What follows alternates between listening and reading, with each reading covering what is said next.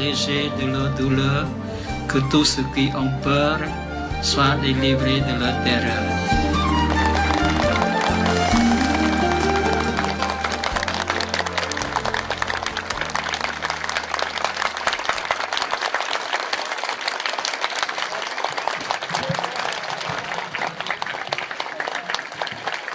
Thank you, Father.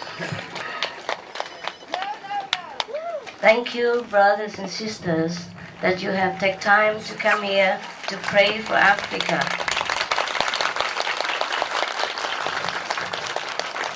And together we will also pray for the world. And may I ask you a few seconds of silence to reconfirm our wish to the Lord.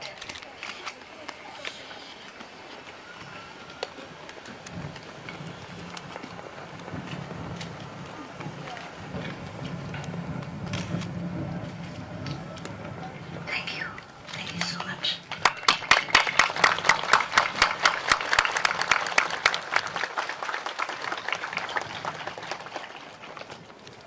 I have been praying to God before I even came here for your land and for the world as always. I have told him, Father, you knows everything.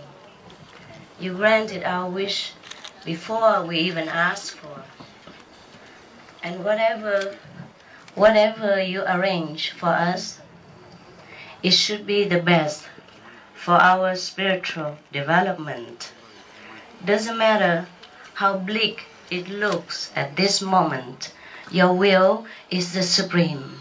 Your will is always the wisest, the best, the most compassionate in the end. And pray, let us know this. Pray, let us never forget that your will is always the most loving in the highest sense of the universal truth.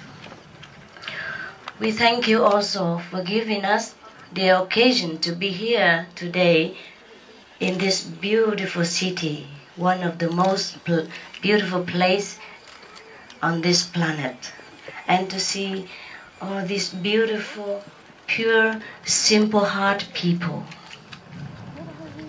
It is our honor in many lifetimes to have such an occasion because we have been here by your will, we live here by your will, and we shall go back to yourself by your will.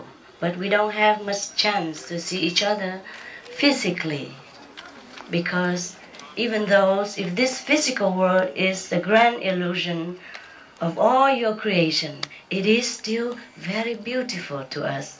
It is our home. And in this sense, we also dedicate to you today, if you wish, that the people of this land or in any land have the home that they wish to have.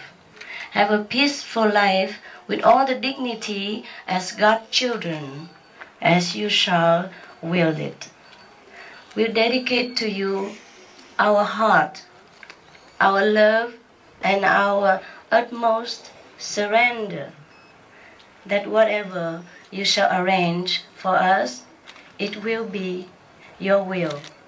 But nevertheless, since we are in this physical condition, we have to endure a lot of illusionary hardship, which hinder our spirit and separate us from you.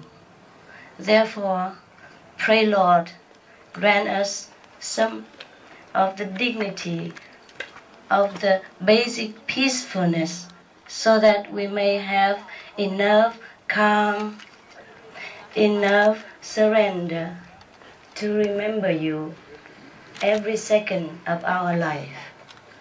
Because you are glory, you are beauty, you are richness, You are the most fantastic vision of the perfection that we could ever remember. So let this perfection also be manifest on this planet.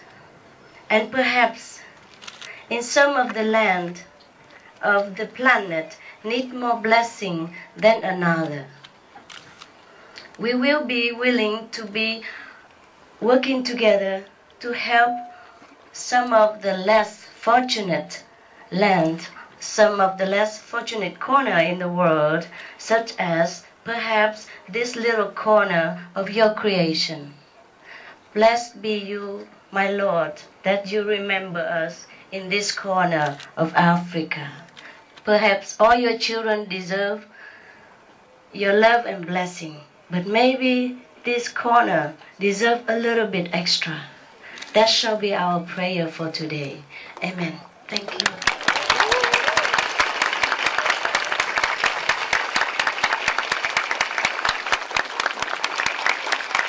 Thank you, brothers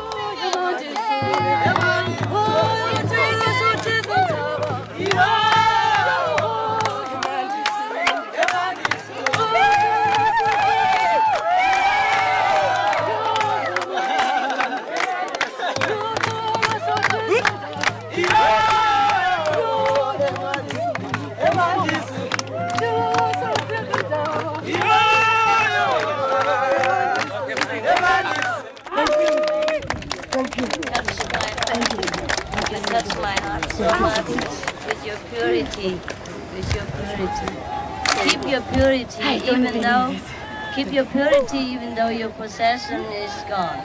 Thank you. Thank you. God is the best possession. Thank you. And our real home is in heaven. Tell your people. Thank you. Yeah, our Don't real leave. home. Our Thank real you. home is in heaven. Thank we you. never lose our home. No, Yes. no, that's Every, the ultimate. everything is just a test, just a game to see if we still remember God in face of trouble. Yes. And if we do, He rewards us multifold. It's nothing this earth, this dust, this you know, so-called walls and the roof, they're really nothing. It's only temporary protection. The eternal, eternal protection is God. And our home is always there waiting for you. I know for sure. I promise. When you finish here, you go home. Real home. Because you're so good, you're pure, you're simple. God loves you so much. I know that. If you can touch my heart, you will touch his heart even more. If you can touch a human heart, how would you not touch God's heart? Right? Our home is in heaven, remember? Okay? Okay, see you.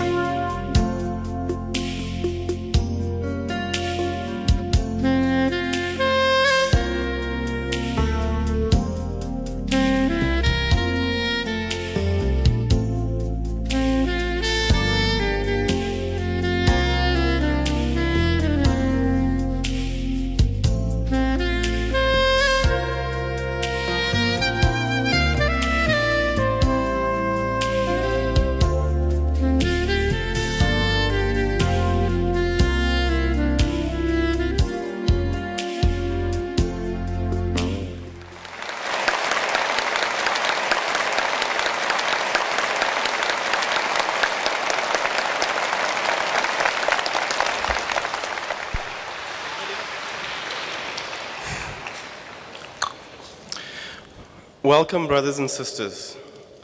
Supreme Master Ching Hai teaches an ancient method of meditation, the Kuan Yin method. Kuan Yin means observation of the inner vibration. Each culture and religion has its own name to describe this inner celestial light and sound. They are spoken of in all the holy scriptures, such as the word and heavenly sounds of Christianity and Judaism, the Shabad of Hinduism, the heavenly music of Taoism, the Naam of Sikhism, the Kalam ai Qadim of Islam, and the inner sound stream of Buddhism. This supreme vibration is the language of universal love and great intelligence. This divine vibration vibrates within all life and sustains the whole universe. The inner melody can heal all wounds, fulfill all desires, and quench all worldly thirsts. It is all powerful and all love. It is because we are made of this sound that contact with it brings peace and contentment to our hearts. After today's lecture concludes, Supreme Master Ching Hai will offer the chance to experience the divine inner light and sound through an initiation into the Kuan Yin method. Those wishing to learn must continue hereafter with a pure vegetarian diet and proper ways of moral conduct in order to ensure one's progress in one's meditation. Those not yet ready for such a step may learn the convenient method of meditation, which is a more general introduction into the Kuan Yin method. There will be more details after the lecture. Could everybody please extend a warm welcome to Supreme Master Ching Hai? Thank you. Thank you, honey. Thank you so much. God bless you. God bless you.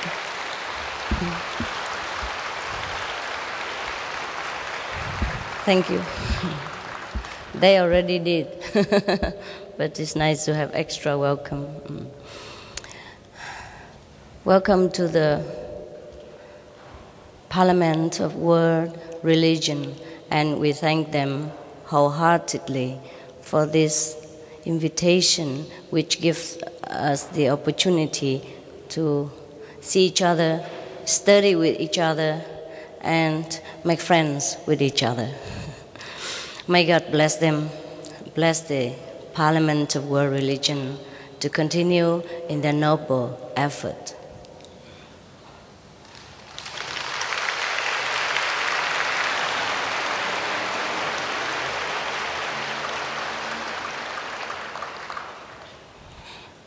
In accordance to the program led out by the Parliament of World Religion, we are here with share with you the knowledge that we have gained from the kingdom of God, which is within all of us. All of us know that God is within us, or at least we have been told that way.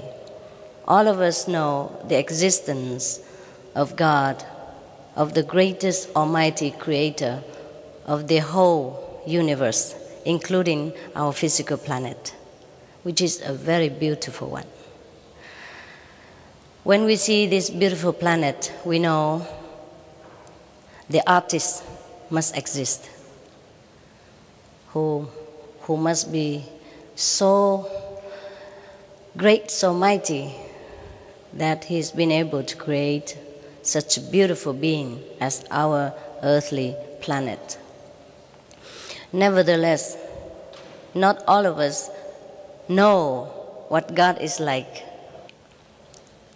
We have been made to forget that we are the glory, the beauty, the most incredible being that ever exists.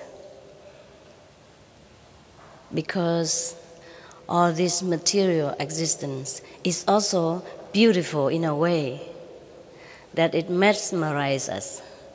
And the element of time and space, which is the instrument set up by the opposite power of God in order to blind us to bind us and to make us forget everything that we truly are, which is God. Because God dwells within us. Every religious scriptures tell us that. Every master that ever graced our earth has told us the same message that God is within us. We are nothing but God.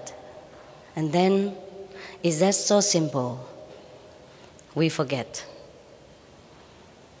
If God is within us, just as if I have some paper in my pocket, how difficult it is to get it out. It is so simple. It is so simple that it is become unbelievable. And that is why, since ancient time, we have found it difficult to believe the message of the masters. Sometimes we even harm them for saying such a simple truth as I can show you God. God is within you, therefore you are God and you can see yourself. We are here today for nothing more than the same purpose, the simple truth that is already existing within every of us, within me, within you.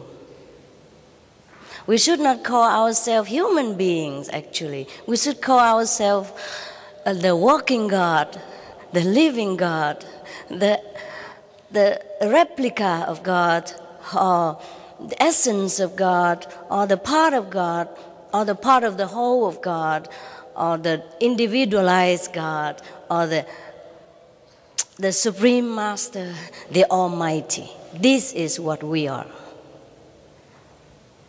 But since ancient time, whoever dare call himself or herself that name, which is truly his and her uh, family name, I mean the surname, the true name, people would ridicule them, would not believe them. And that is incredible, really incredible, when we come to think about it. Suppose my father name is Teng. Then I'm Miss Teng, no? Right? Because I, I'm his daughter, and my name is the same as his, as my father. So we are the children of God. Every one of us been told that, and we feel that way. We came from God, or where else should we come from? Do you think we come from God or not? Yes or no? Well, thank you very much.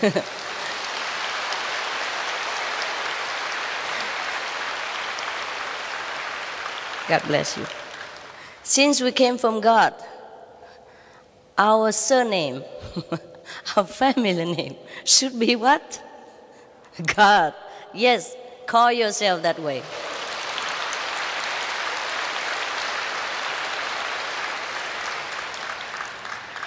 I'm glad, I'm so happy that you accept your identity. At least, at least by understanding that, yet not even seeing the Father, you already accept your identity. That is already very, very important. And now, if you want to believe truly about your name and your heritage, I could show you. I could prove to you that you are really God and nothing but God. If you have a time, if you have some time, we can sit together and I explain to you about how to go back there where we came from. And then it will happen instantly. Once you've been explained, you just close your eyes. That's it, you're there. Because you have never been anywhere but inside Godhood, inside the embrace of our Father or Mother. There's nothing else in this universe except God's power and God's love, and we are never, never apart from it. It just, we don't look where we should look. We are so mesmerized by all this beauty, which is fine, which is there for us to enjoy. To remind us even of the glory and the beauty of heaven, even just a very poor example. even God sent us to this physical planet, He has not forgot to leave us with all comfort and glory and beauty and abundance so that we might never forget heaven. Even though these are just poor, poor, very poor copies, they are still beautiful. Can we imagine how glorious it is, the true scenery of heaven, the true flowers in the celestial realm? I have seen them. I have no language words to describe to you how beautiful they are. When you, when you see heaven, when you experience the true heritage of our kingdom, the true identity of our real selves, uh, you are not here anymore. You're not in this physical dimension, but you are in the spiritual world. And when you come back here, it's so difficult to describe. Even though all of our, our, our brothers and sisters have tried to describe their experience of heavens in different way, sometimes when we gather together, and suppose they don't understand what the meaning of this and that, that the vision I have seen, they have seen inside. Oh, Dada, Namaste. Please welcome this special, special, special, special father. Please give him the honor seat and his assistant, please. Please stand up and welcome this very, very special holy person. He came from India. Dada, would you like to come here? Would you like to come sit with me? All right, as you wish. thank you, thank you. Sit down, please. Please, please, sister. I'm very honored with your presence. A big surprise. he came all the way from Pune, India. We met last year, and he has fallen in love. We have, I